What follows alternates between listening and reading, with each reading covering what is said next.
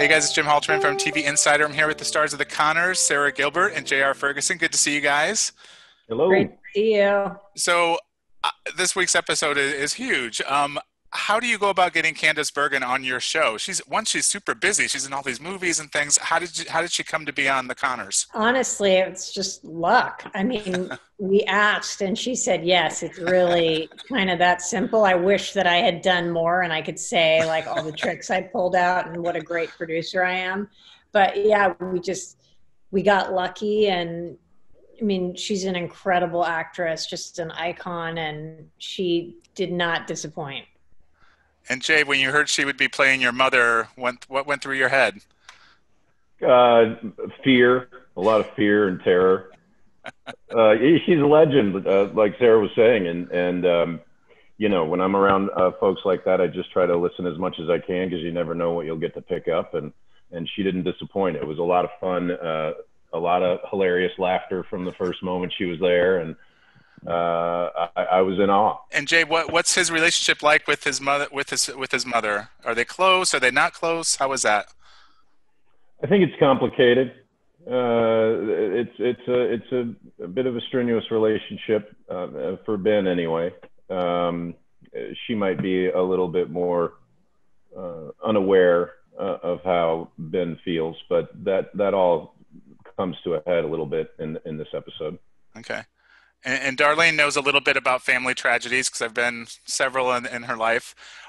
How, how is she handling what Ben's going through as his partner?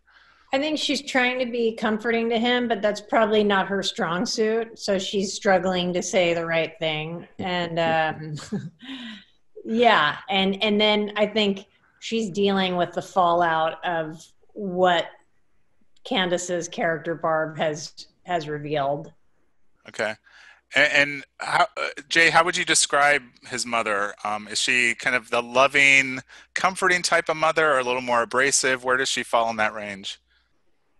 I, I, would say she leans more in the direction of abrasive than, than warm and comforting.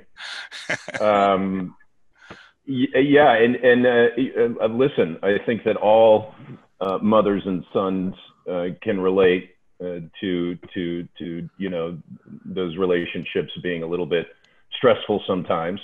Uh, I'm certainly no exception. So Sara and I were were, were laughing periodically over the course of this episode uh, about some of the parallels, and uh, uh, but we had a lot of fun with it, and um, you, you know it was a dream.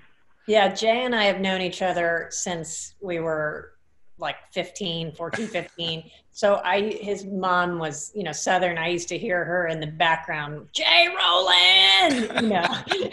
And so when we saw this character we were like oh yeah. I mean she's his mother is much kinder but, yeah. but, but we were laughing. The episode's also a good one for people that are watching for becky and emilio and what's going to happen with their relationship. Sara, can you tease a little bit? Because I, I would like to see them together but it doesn't seem to be an easy course for them. Can you talk about that a little bit Emilio and Becky are spending more time together in the episode. I think he's got feelings for her and is is hopeful that she wants to move in that direction and got to kind of see where it goes. Okay. And I'm also a fan of Ben and Darlene, and I know their road has been a little rocky, as you would expect on the Conners. Are wedding bells going to happen this season? What would you guys like to see? I mean, they're already living together, but what's the next step for them? I think their relationship is going to come to a head at some point because they're, you know, Ben really wants to move forward and have a life with her, live together.